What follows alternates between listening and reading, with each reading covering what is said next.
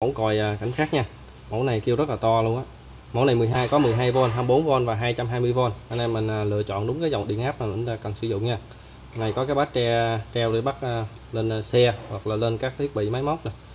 Loại này mình cấp 12V nha. Dây đỏ là vô nguồn nè. Rồi dây đen nè.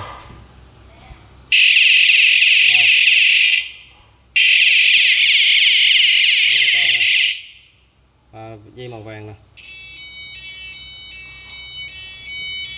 À,